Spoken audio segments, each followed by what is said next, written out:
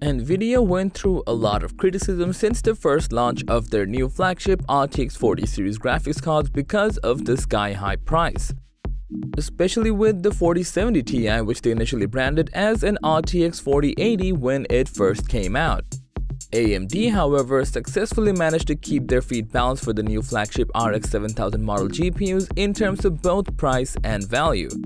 And with the rebranding of NVIDIA's RTX 4070 Ti GPU, AMD's lower RDNA 3 variant, the RX 7900 XT has achieved even more credits. In today's video, we'll be comparing NVIDIA's RTX 4070 Ti head-to-head -head against AMD's RX 7900 XT and find out which one has the most value in terms of performance and price.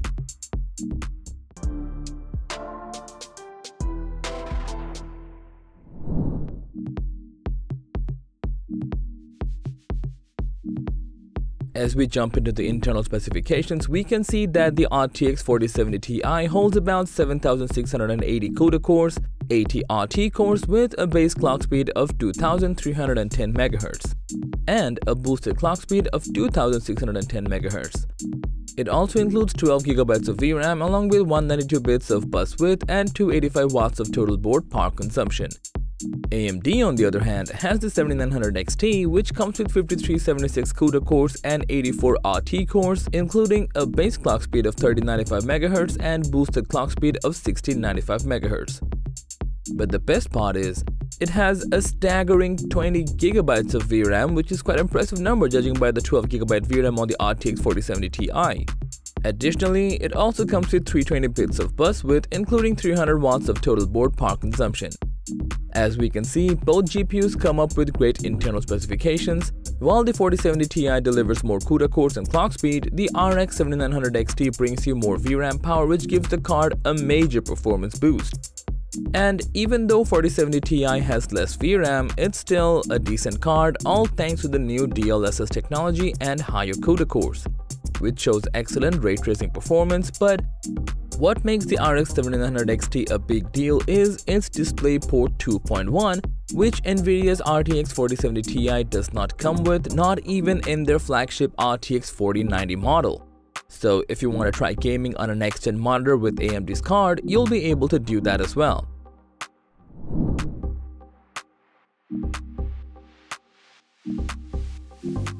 Now that we're all caught up with the internal specifications, it's time we take a look at the actual performance of both these cards.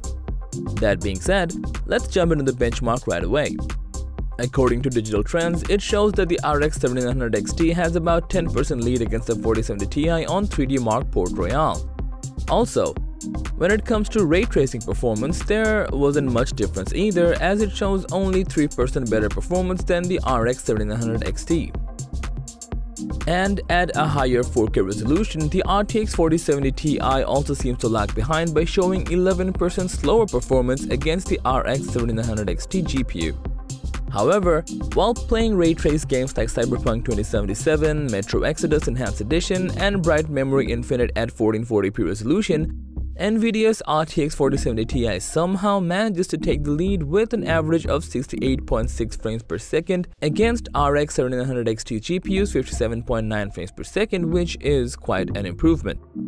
In most cases, we can see that the RTX 4070 Ti struggles to keep up with AMD's RX 7900 XT GPU, but then again, the latest DLSS 3 and the frame generation technology work really well in this card, so even though RX 7900 XT stays ahead in terms of performance, there aren't any huge differences.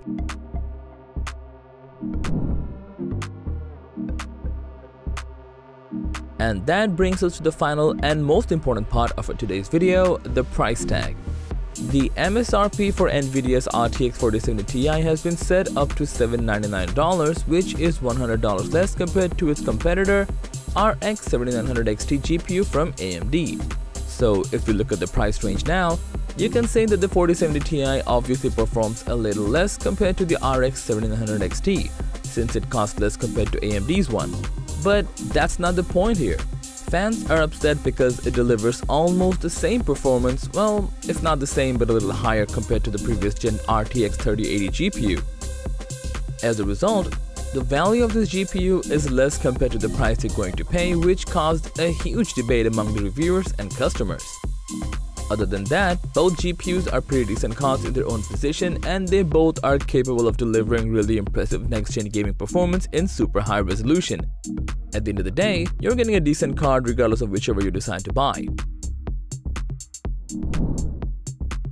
So that was all about our today's comparison video between the RTX 4070 Ti versus RX 7900 XT. Thanks for watching. If you found this video to be helpful, please give it a thumbs up, share it with your friends, and let us know your thoughts in the comment section down below. Subscribe to our channel and hit the bell icon if you want to see more videos like this on your feed.